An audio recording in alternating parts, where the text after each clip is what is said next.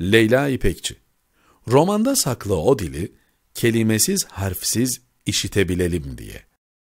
Bu sefer kültür ve sanatın ruhuna yolculuğumuzdaki temel izlek olan dil bahsini kalemin sırrından açalım. Arada bir yazılarımda yaptığım gibi. Julio Cortázar ki sevdiğim bir Arjantinli romancıdır. Sosyal medyada dolaşan bir video kayıtta okurla kurduğu ilişkiye odaklamış yazma amacını. İzlerken müthiş bir esinlenme oldu bende. Evet bazı sözler yazardan yazara ulaşır en kestirme yoldan. Bazı romanlar mesela yazarlar için yazılır okurdan ziyade. Ama işte bazı romanlar da yazarın kendi iç dünyasını çözmek, kendini anlama çabası filan gibi bütün sofistike söylemleri reddederek salt okur için yazılır. Kestirmeden, dümdüz, kıvırmadan. İşte Cortázar'ın 20 küsür yıl önce Seksek romanını okurken bunun farkına varmıştım. Nitekim yazar da okuru cezbetmek için yazdığından bahsediyor. Belki tam böyle demiyor ama böyle yankılandı sözleri gönlümde.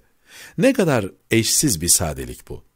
Okurla ilişki kurmaktır yazmaktaki amacım diyor. Onu acizane daha ileri götürüyorum iç sesimde. Okuru cezbetmektir diyorum. Hatta okurun başını öyle bir döndürürsün ki, oturduğu yerde havalanıp tokadı yer ve yerine döndüğünde artık bambaşka biridir. Böylesi müthiş bir çekim gücü oluşturur işte kalem vasıtasıyla yazarın okur tarafından bilinmeyi sevmesi. Eğlencelik niyetine oyalama boyalama usulü bir kullanat ilişkisi asla değildir okur ile yazarı kavuşturan. Evet, Cortázar'ın bu söylemi beni 20 yıldır romanlarım yayınlanırken zaman zaman bambaşka yönleriyle verdiğim cevaplara götürdü. Yazarlara bıktırana kadar defalarca sorulan neden yazıyorsunuz adlı o şablon soruya verilen cevaplar sonsuzdur. Her cevap kalemin sırrını barındırır içinde. Bu yüzden her seferinde bazı yanları esrarengiz kalır. Nihayetinde yazarın içinde yaşadığı toplumun kültür sanatına bu esrarengiz cevaplar muhakkak surette katkı sunacaktır. Buyurun biraz da buradan yakalım, yanalım.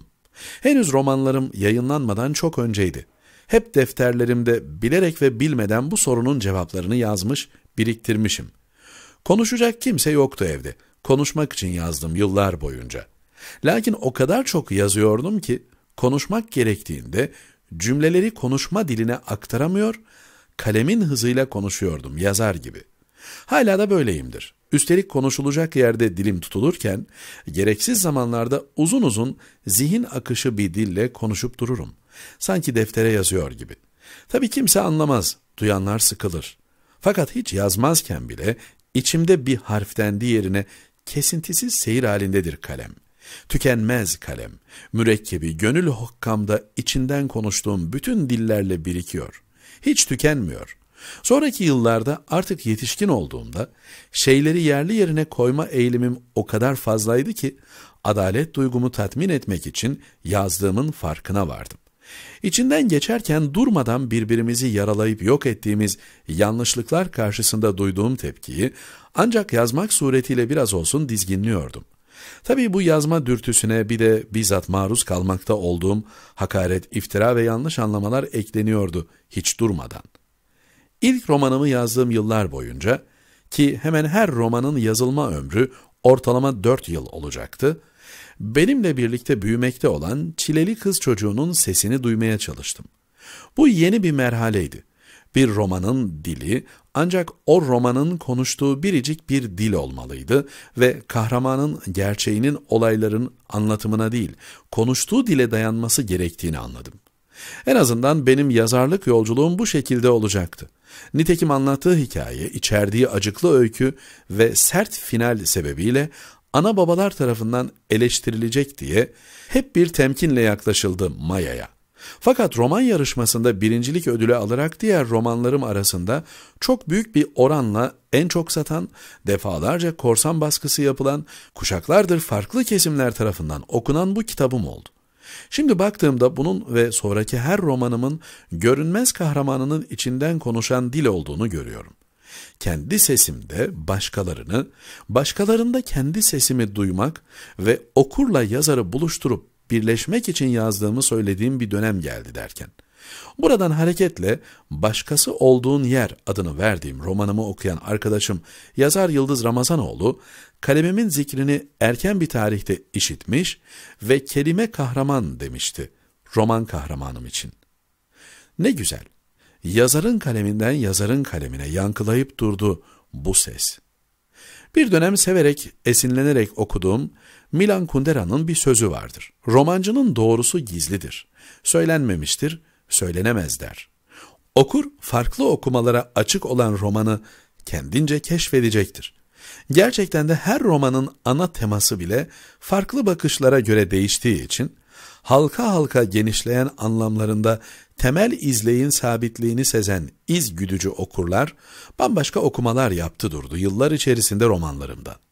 İbn Arabi, Yunus ve Mısri gibi hak aşıklarının divanlarıyla tanışma serüvenime de elbette işte yine kelime avcılığım vesile olmuştur. Her birinin tek tek serüveni var ve kalemimin sırrında dilimi mayalamaya devam ediyorlar. Bu sefer de yine uzun yıllar boyunca romanlarda hep gerçeği amaçladığımı, kendi gerçeğime yaklaştıkça hepimizin özündeki değişmez hakikat nurunun kendini yazdırmakta olduğunu söyledim durdum. Kendimi, Rabbimi, gerçeğimi bilmek için yazıyorum dedim. Lakin şunu da dedim, kelimelerimle okurun içindeki gerçeğe eşlik etmek için yazıyorum. Birlikte güzelleşebilelim, yolculuğumuzda birbirimizin kelimeleriyle kendimizi keşfedelim diye yazıyorum. Şimdi Kortazar'dan aldığım sade bir esinle kalemimin iniş kalkışlarında okurla kendiliğinden paylaştığı sırra şunu da ekliyorum. Kundera'nın dediği gibi romanın doğrusu diye bir şey varsa bu okurunun sessizliğindeki dildedir. O saklı dili kelimesiz harfsiz işitebilelim diye yazıyorum. Ve sonra Hallacı Mansur'dan devam edelim kalemin başka bir sırrına doğru. Ruhumla konuştum, kalemsiz harfsiz. Ayrılık yok ruhla dost arasında. Ne kağıt ne yazı, ne ses ne hitap. O senin yazdığın mektup aslında. Kendi dilinle cevap senden sana. Leyla İpekçi, Yeni Şafak.